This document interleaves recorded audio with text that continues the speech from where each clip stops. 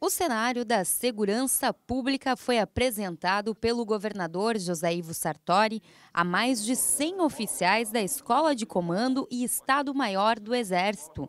A visita dos oficiais ao Rio Grande do Sul faz parte da programação da Jornada de Estudos Estratégicos de Oficiais Alunos, que tem como objetivo discutir política, geopolítica, relações internacionais e estratégia. Teremos até o final de 2018, 4 mil novas pessoas na área de segurança.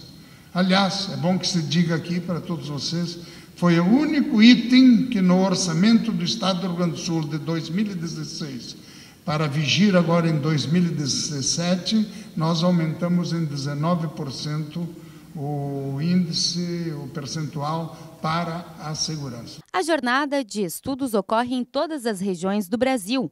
Além da capital, os alunos terão atividades em Santa Maria. Nós estamos aqui por dois motivos. Um é fazer uma viagem de estudos estratégicos, conhecer as potencialidades do Estado, as suas principais possibilidades e os principais desafios. E também realizar um exercício tipicamente militar de operação no ambiente interagências, em que nós vamos articular nossos planejamentos com o planejamento de outros setores, como da segurança pública, por exemplo, para que no futuro a gente possa estar mais preparado para a atuação é, em proveito da, da sociedade brasileira.